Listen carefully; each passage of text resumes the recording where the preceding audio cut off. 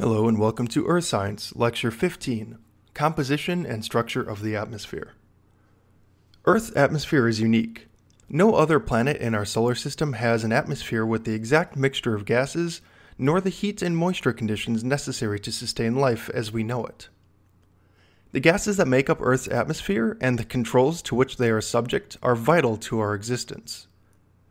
In this lecture, we will begin our examination of the ocean of air that we must all live in. We will also answer a number of basic questions, such as what is the composition of the atmosphere, where does the atmosphere end, and where does outer space begin, what causes the seasons, which will be covered in a future lecture, how is air heated, and what factors control temperature variations around the globe. Earth's atmosphere is extremely unique. And what we can see here is uh, some images of our atmosphere. This thin layer of gas supplies the oxygen that we, ble- that we breathe, excuse me, shields us from har- harmful ultraviolet and X-ray radiation from the sun, and it protects us from the continual bombardment of micrometeorites. It generates rain-giving clouds and traps just enough heat to keep Earth habitable. How did Earth end up with atmospheric conditions that are so favorable to life? Well, we'll explore this in the next few lectures. We'll also discuss why Earth's climate remains relatively stable and how human activity may threaten that stability. So, these images are intentionally put into the slides um, for a good reason. So, I'm going to give you an analogy. An average apple is about 225 millimeters around, and its skin is 3 millimeters thick. All right, so picture an apple in your hand. If we compare the Earth and its atmosphere to an apple and its skin, the skin of the apple is about 20 times thicker relative to the apple than the atmosphere is to the size of the Earth. You could also represent this air on a standard globe, so like a classroom globe, with only a layer as thick as a dollar bill. So let's take a look at some of the science behind things before we move forward. Newton's experiments provided that white light is a mix of all colors of the rainbow. Later scientists found that it is uh, light beyond, or that there is light beyond this rainbow as well. Just as there is sounds that our ears cannot hear, such as the sound of a dog whistle, there is also light that our eyes cannot see. In fact, light that we can see is only a tiny part of the complete spectrum of light, usually called the electromagnetic spectrum. Light itself is often called electromagnetic radiation. The electromagnetic spectrum is commonly divided into regions according to their wavelength, or frequency. Keep in mind that despite the differences in names, everything in this electromagnetic spectrum represents a form of light and therefore consists of photons that travel around space at the speed of light. So here you can see the different kinds of lights. We starting from the most energetic or the shortest wavelengths, we have gamma rays, then X-rays, ultraviolet, visible light, which is what we see, infrared, microwaves, and radio waves. So altogether that makes up the electromagnetic spectrum, and we will revisit this later. Weather influences our everyday activities, our jobs, and our health and comfort. Many of us pay little attention to the weather unless we are inconvenienced by it or that it adds enjoyment to our outdoors. Nevertheless, there are few other aspects of our physical environment that affects our lives more than the phenomena that we call weather. Acted on by the combined effects of Earth's motion and the energy from the sun, our planet's formless and invisible envelope of air reacts by producing an infinite variety of weather, which in turn creates the basic pattern of global climates. Although not identical, weather and climate have much in common. Weather is constantly changing, sometimes from day to day and sometimes from hour to hour. It is a term that refers to the state of the atmosphere at any given time and place. Whereas changes in weather are continuous and sometimes seemingly erratic, it is nevertheless possible to arrive at a generalization of these variations. Such a description of aggregate weather conditions is termed climate. It is based on observations that have been accumulated over many years. Climate is often defined simply as average weather, but this is an inadequate definition. To more accurately portray a character of an area, variations and extremes must also be included, as well as the probabilities that such departures will take place. For example, farmers need to know the average rainfall during the growing season, and they also need to know the frequency of extreme wet and extremely dry years. Thus, climate is the sum of all statistical weather information that helps describe a place or a region. Suppose you were planning a vacation in an unfamiliar place. You would probably want to know what kind of weather to expect. Such information would help you select clothes to pack and could influence decisions you make regarding activities that you'd like to engage in during your stay. Unfortunately, weather forecasts that go beyond a few days are not dependable. Therefore, you might ask someone who is familiar with the area about what kind of weather you can expect, such as are thunderstorms common, does it get cold at night, or are their afternoons sunny? What you are seeking is information about the climate, that is, the conditions that are typical for that place. For example, this graph on the right shows the average daily high and low temperatures for each month, with uh, as well as extremes for uh, New York City. It is important to realize that climate data cannot predict weather. Weather and climate are expressed in terms of some basic elements, that is, quantities or properties that are measured regularly. A change in one of these elements will often bring about changes in the others. The most important elements are air temperature, humidity, the type and amount of cloudiness, the type and amount of precipitation, air pressure, and the speed and direction of wind. These elements are the major variables from which weather patterns and climate types are deciphered, and we'll take a much closer look at most of these down the road. Sometimes the term air is used if, as if it were a specific gas, but it is not.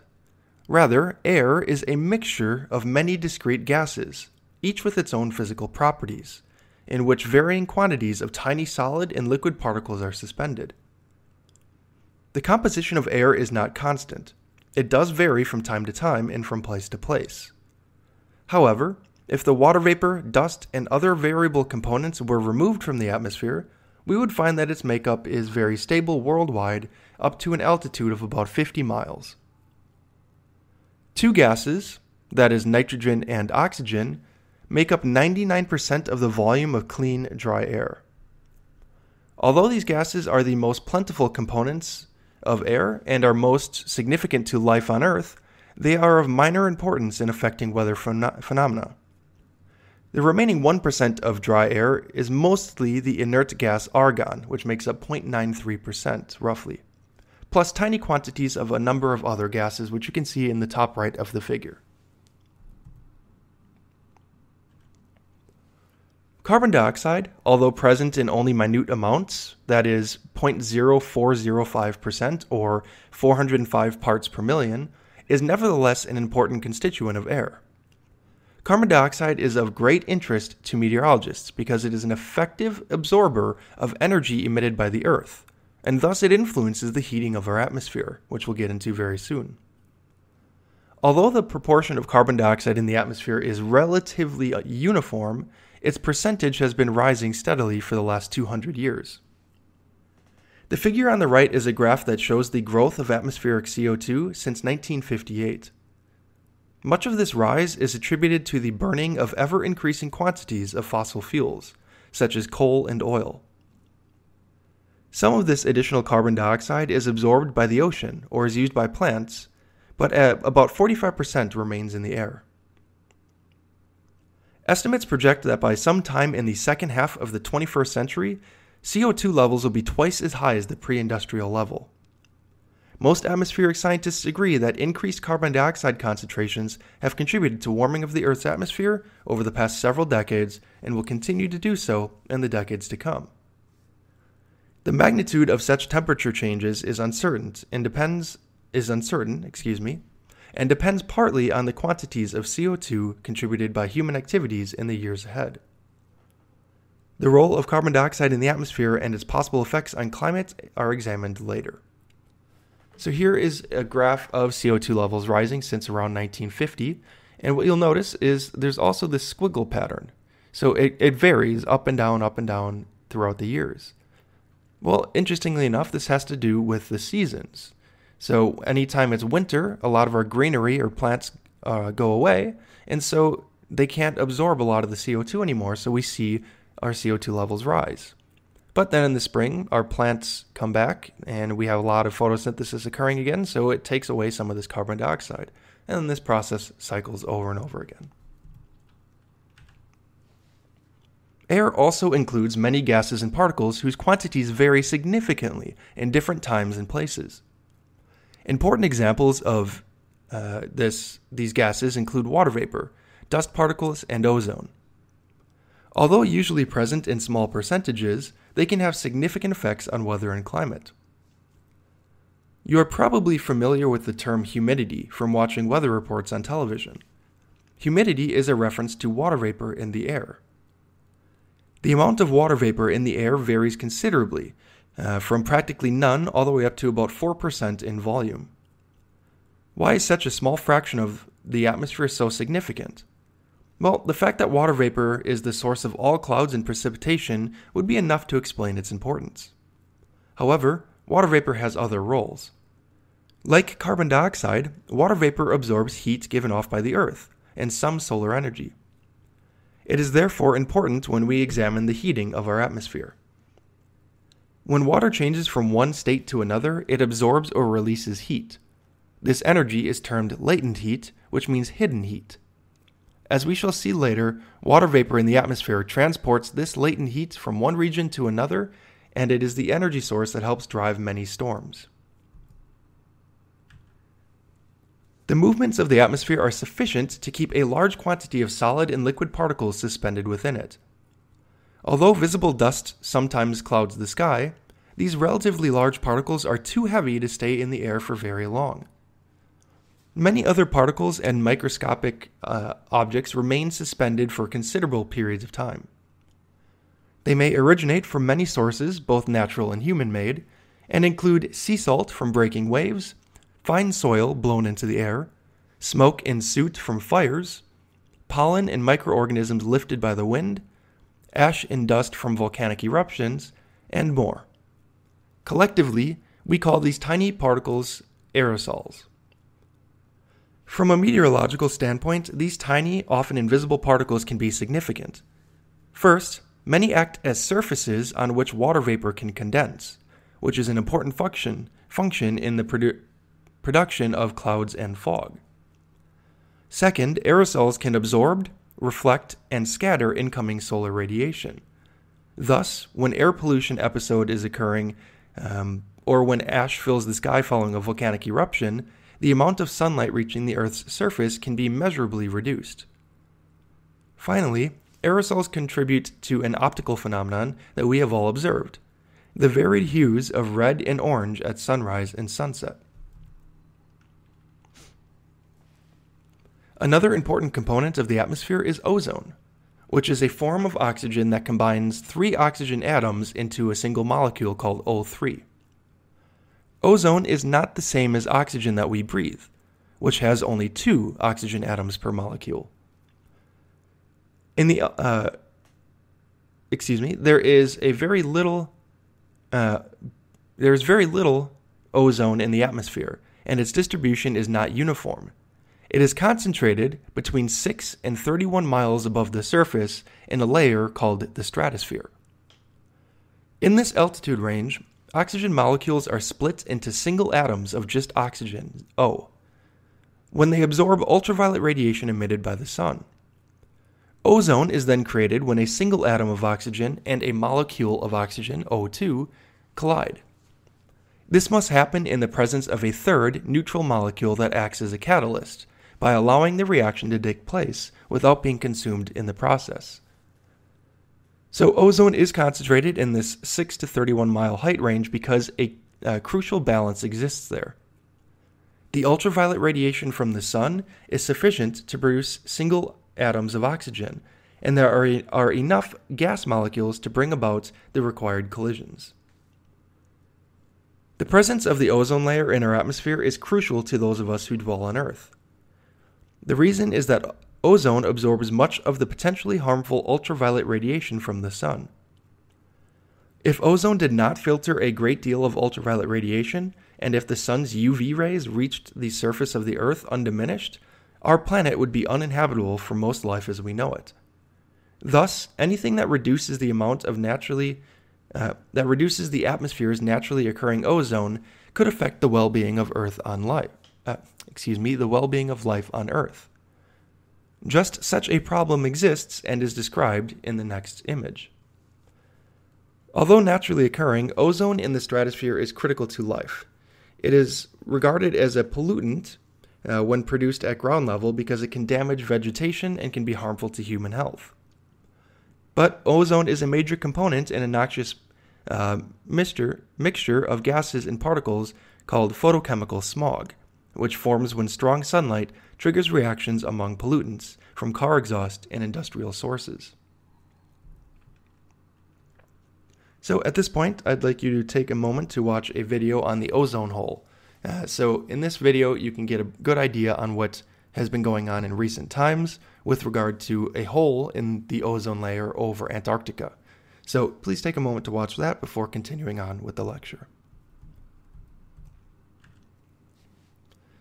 To say that the atmosphere begins at Earth at Earth's surface and extends upward is obvious. However, where does the atmosphere end? and where does outer space begin? There is no sharp boundary. The atmosphere rapidly thins as you travel away from the Earth until there are too few gas molecules left to detect. Collisions of individual atoms or molecules in an atmosphere create pressure that pushes in all directions, much like the air inside of a balloon. A balloon offers a good example of how pressure works in a gas. The air's molecules inside a balloon exert a pressure, pushing outward as they constantly collide with the balloon's inside surface. At the same time, outside air molecules collide with the balloon's outer surface, exerting a pressure that by itself would make the balloon collapse. A balloon stays inflated when the inward and outward pressures are balanced. This pressure holds up the atmosphere so that it does not collapse under its own weight. The higher you go in the atmosphere, the less the weight of the gas above, and thus the less weight means less pressure. To understand the vertical extent of the atmosphere, let us examine the changes in atmospheric pressure with height. Atmospheric pressure is simply the weight of the air above. At sea level, the average pressure is slightly more than 1,000 millibars. This corresponds to a weight of slightly more than 1 kilogram per square centimeter in other words, 14.7 pounds per square inch. The pressure at higher altitudes is less. One half of the atmosphere lies below an altitude of 3.5 miles.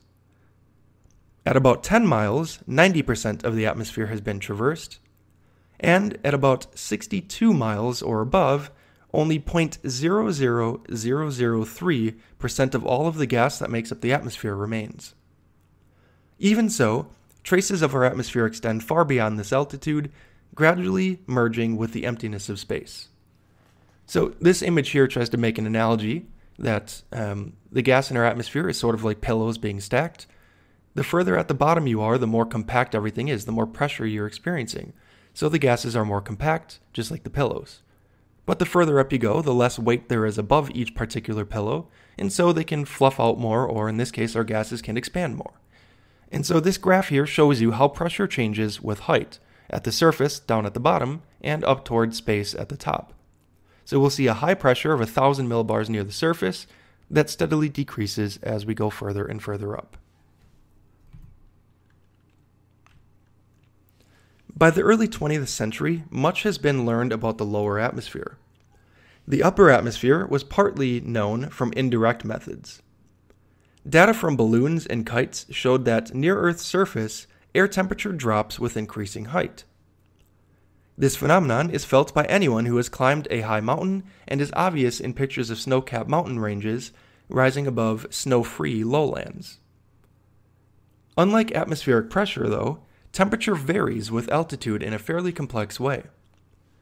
The way in which temperature varies with altitude determines what is often called the atmospheric structure. These differences result from the individual ways in which each layer is heated.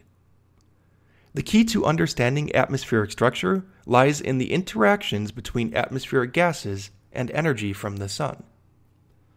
So, as you can see on this large image on the right, we have the structured layer of our atmosphere. We have four main layers that we're going to look at, and you'll notice the temperature zigzags back and forth as we go up.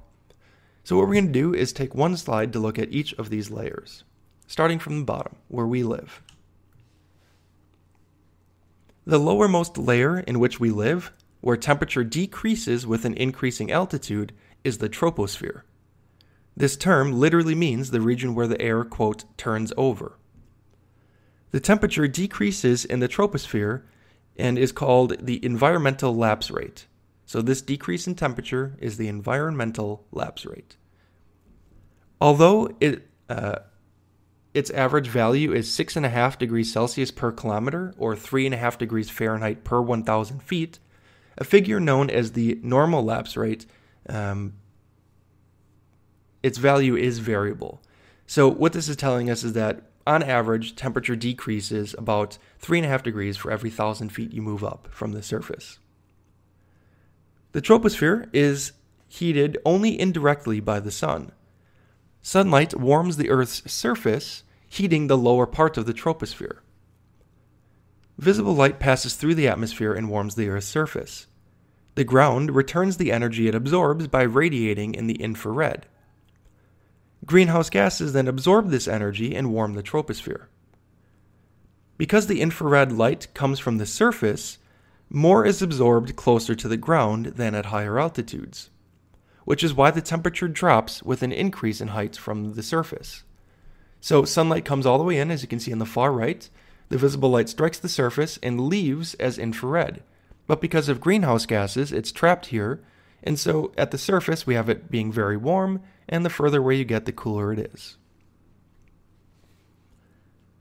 Uh, this vertical temperature variation causes convection currents throughout the troposphere, which gives rise to weather. The primary cause of storms is the churning of air by convection, in which warm air rises and cool air falls. Recall that convection occurs only when there is strong heating from below. In the troposphere, the heating is from the ground, which can drive the convection cells. To determine the actual environmental lapse rate, or the rate at which temperature is decreasing, as well as gather information about vertical changes in pressure, wind, and humidity, something called radiosondes are used. A radiosonde is an instrument package that is attached to a balloon and transmits data by radio as it ascends through the atmosphere. The thickness of the troposphere is not the same everywhere. It varies with latitude and seasons. But on average, the temperature drop continues all the way up to a height of about 7.4 miles. The outer boundary of the troposphere is what we call the tropopause, so the boundary at the top of this layer. After that, we reach the second layer of our atmosphere, the stratosphere. In the stratosphere, which extends from about 7.5 to 31 miles above the surface of the Earth, an appreciable amount of oxygen in the form of ozone, a molecule of three oxygens again, is existing. Ozone is very efficient at absorbing ultraviolet radiation from the sun, which means that the stratosphere can be directly absorbing solar energy. So here we can see UV rays coming in and notice that they stop when they get to the stratosphere. Most of this ultraviolet absorption and heating occurs at moderately high altitudes within the stratosphere, which is why the temperature tends to increase with altitude as we go upward from the base.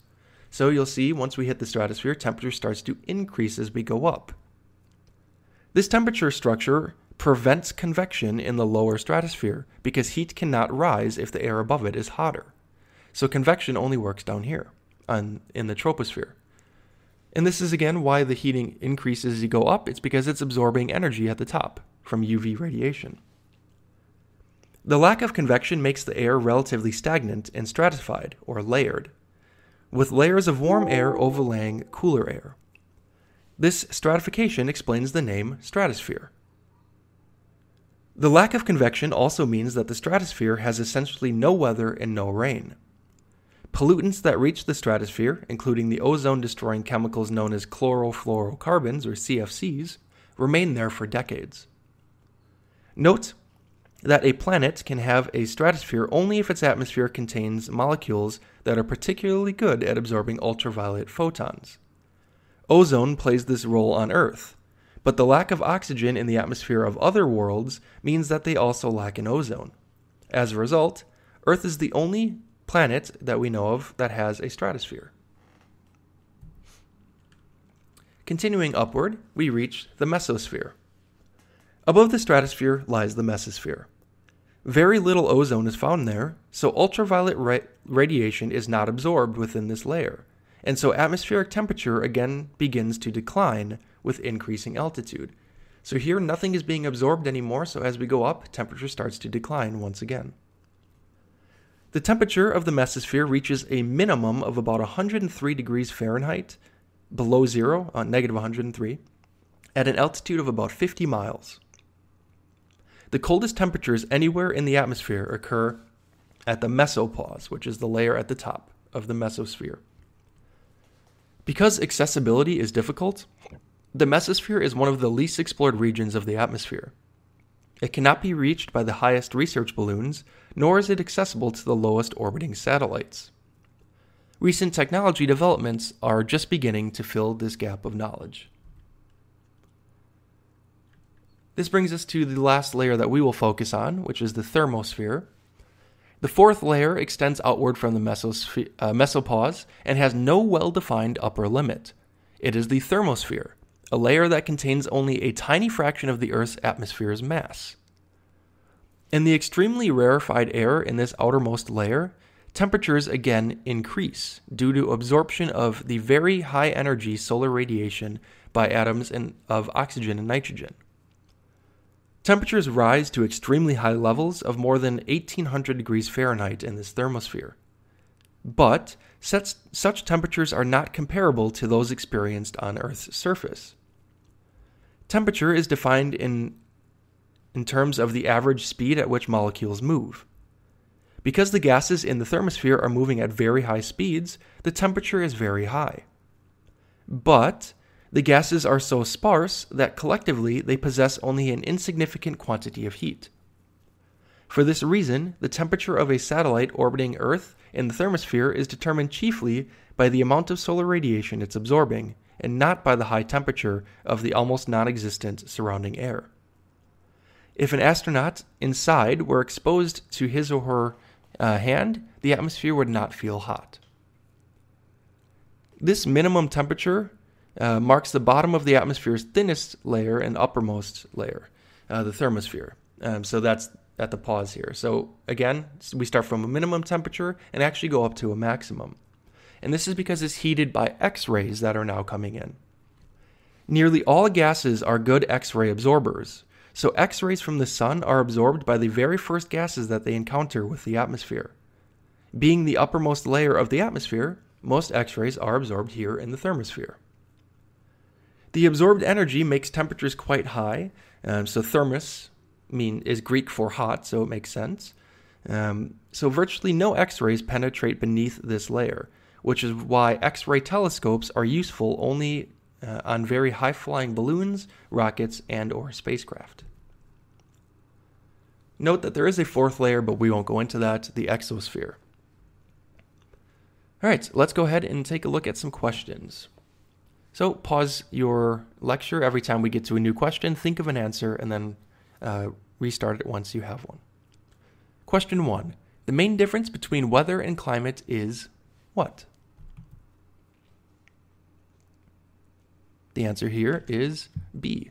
Weather is the daily variation that actually occurs at a location, where climate is the general pattern of weather over time.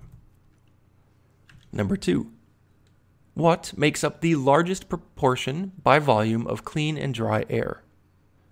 So, what gas is most abundant? The answer here is A, nitrogen. Nitrogen followed by oxygen together make up 99% of all air in our atmosphere.